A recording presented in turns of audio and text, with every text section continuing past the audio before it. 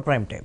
సరిక న్యాయదేవతకు పాలాభిషేకం అమరావతిలో అపరూప దృశ్యం. న్యాయమే అమరావతికి రక్ష అని అంటున్నారు రైతులు. ఆనందంలో ఉన్నారు. ఇన్సైడర్ ట్రేడింగ్ జరగలేదనేటువంటి పరిస్థితి. సార్ అంటే గత రెండు సంవత్సరాలుగా వారి ప్రతిరోజు వారి కళ్ళమ్మట కన్నీరు కారుతా ఉంది. ప్రభుత్వం ఏదైనా విధ్వంసకరమైన పనులు చేయటం లేకపోతే లాఠీ చార్జ్ చేయటం లేకపోతే ఇంకో సంఘటన జరిగినప్పుడు కళ్ళమ్మట రక్తం కారుతా ఉంది. కానీ ఈ ఈరోజు నిన్న ఏదైతే సుప్రీంకోర్టు ఇచ్చినటువంటి తీర్పుతో నిన్న ఒక్కరోజే వాళ్ళ కళ్ళమ్మట ఆనంద బాష్పాలు కారినటువంటి పరిస్థితి. అంటే అందుకనే వారు పాలాభిషేకం చేశారు.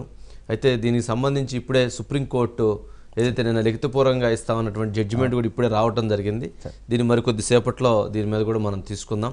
దీనికి సంబంధించి రాజేష్ ఉన్నట్లున్నాడు ప్రస్తుతం. రాజేష్ ఏంటి మొత్తానికి పాలాభిషేకంతో పాలాభిషేకం చేయటం జరిగింది? ఏంటి దీనికి సంబంధించిన అప్డేట్స్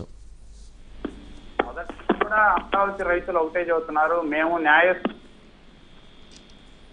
యా రాజేష్ చెప్పండి. న్యాయస్థానం మీద మేము అంతా కక్షలు పెట్టుకొని ఉన్నామని కూడా మొదటి నుంచి వారు చెబుతున్నారు. వారు చెప్పిన విధంగానే నిన్న తీర్పు కూడా వారికి అనుకుంది రైట్ మీ ఫోన్ బాగాలేదు ఓకే రాజేష్ మీ ఫోన్ సరిగ్గా లేదు వాయిస్ సరిగ్గా కరెక్ట్గా రావట్లేదు.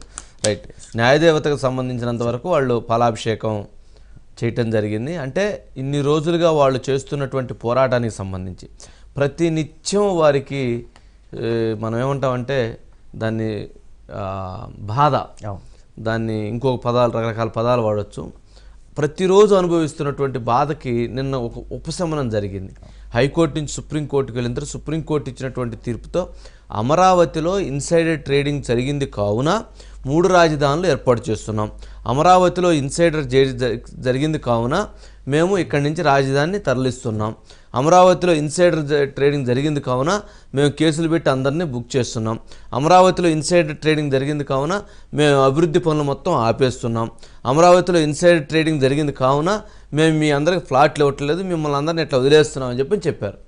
అంతే కదా మొత్తానికి ఓవరాల్గా. కానీ సుప్రీంకోర్టు ఇచ్చినటువంటి ధర్మాసనం ఇచ్చినటువంటి దీంతో మొత్తం మీద ఉపశమనం కలిగినటువంటి పరిస్థితి. అందుకనే వాళ్ళందరూ కూడా ఎక్కడైతే పాలాభిషేకం చేసి తమకి న్యాయం జరుగుతుందని నమ్మకం ఉంది మాకు న్యాయ వ్యవస్థ న్యాయ దేవత మమ్మల్ని కాపాడుతుందనేటువంటి అభిప్రాయాన్ని వ్యక్తం చేయటం జరిగింది Murali. Yes yeah right sir సరిక తర్వాత పాదయాత్రలతో పార్టీ